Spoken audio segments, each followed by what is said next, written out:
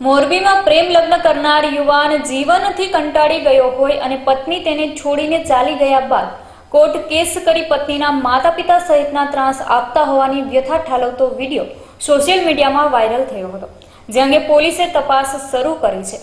અહેવાલ રવિની માવત મોરબી. બસ એને આ તે એના પત્નીનો જ એને આપઘાત લાગ્યો તો જાજો.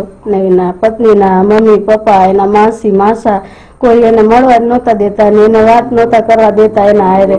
એટલે એને એ જાજો આઘાત લાગી ગયો. અને ઘરે કોઈને કીધું નથી ને કાંઈ નહીં. ને એને માસી ઘરે હાજરમાં કોઈ હતા નહીં ને એના માસી અહીંયા આવીને એને તેડી ગયા છે. અને છોકરીના મા બાપ એને બહુ પ્રેશર કરતા હતા કે તું ગમે એમ કરીને તું છૂટું જ કરી દે ને કે આમાં તારા જીવનો જોખમ છે એમ કરીને છોકરાને ધમકાવતા હતા ઘડી ઘડી ફોન કરીને. અને એની પત્ની હારે એને વાત નહોતા કરવા દેતા.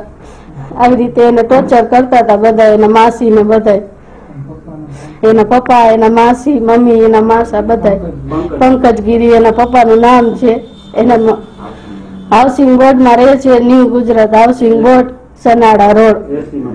એસટીમાં નોકરી કરે છે એના પપ્પા અને હાઉસિંગ બોર્ડમાં રહે છે. હવે એના મમ્મીનું જ કારણ, એના માસી ને એના મમ્મીનું જ કારણ છે ઘરે આવીને તેડી ગયા અહીંયા અને છોકરીને મળવા જ ન દીધી હવે એક જ વાત કે છૂટું જ કરો તમે, ગમે એમ કરી નાખા તમારા જીવનો જોખમ છે છોકરાને.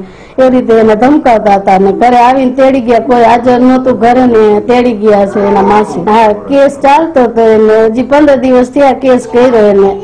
એક મુદતમાં આવી, બીજી મુદતમાં એ આવી નહીં ને બીજી મુદતમાં છોકરાએ અમારે આવું કરી લીધું એના.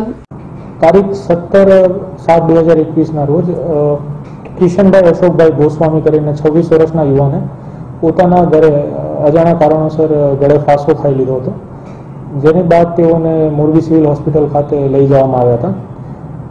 ત્યારબાદ મોરબી સિટીએ પોલીસ સ્ટેશનમાં અકસ્માત મૃત્યુ નંબર તેતાલીસ ઓબ્લિક બે હજાર એકવીસના મુજબ તે આગળ તપાસ યુએચસી દ્વારા કરવામાં અત્યારે હાલ ચાલુ છે.